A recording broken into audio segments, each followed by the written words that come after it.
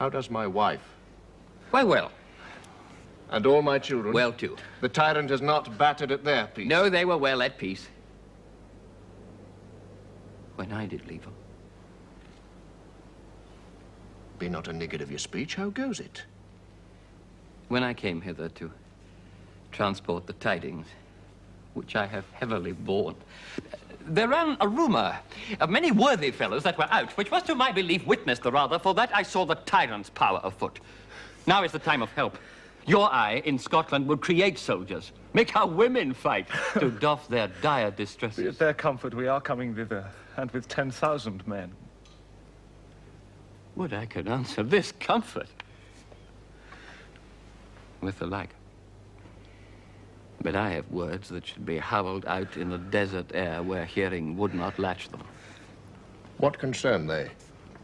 The general cause, or is it a fee grief due to some single breast? No mind that's honest, but in it shares some woe. Though the main part pertains to you alone. If it be mine, keep it not from me. Quickly, let me have it. Let not your ears despise my tongue forever, which shall possess them with the heaviest sound that ever yet they heard. Hmm. I guess at it.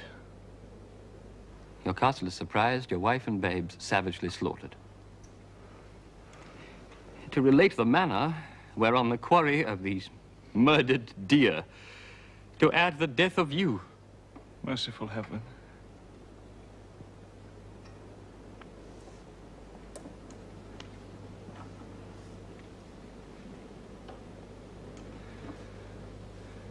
Give sorrow words.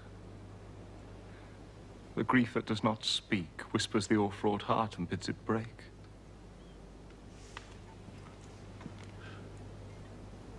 My children, too?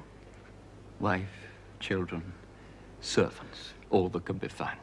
And I must be from thence. My wife killed too? I have said. Be comforted.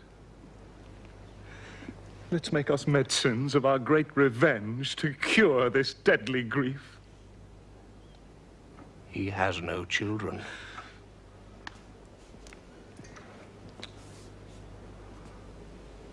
All my little ones. Did you say all? Oh. Hell, kite. All?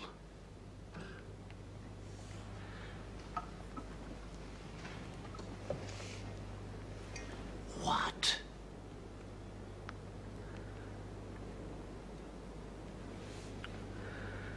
All my pretty chickens. And their dam. At one fell swoop. Dispute it. Like a man. I shall do so. But I must also feel it as a man. I cannot but remember such things were that were most precious to me. Did heaven look on and would not take their part? Sinful Macduff, they were all struck for thee. Naught that I am, not for their own demerits, but for mine, fell slaughter on their souls. Heaven rest them now. Be this the whetstone of your sword. Let grief convert to anger. Blunt not the heart, enrage it. Oh.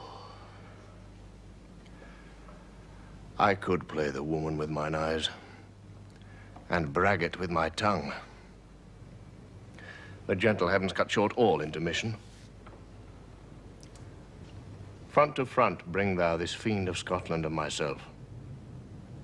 Within my sword's length set him.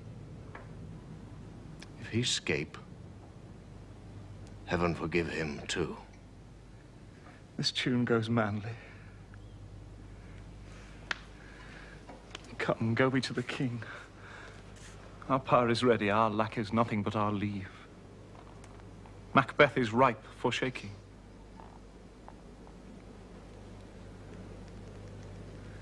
Receive what cheer you may. The night is long that never finds the day.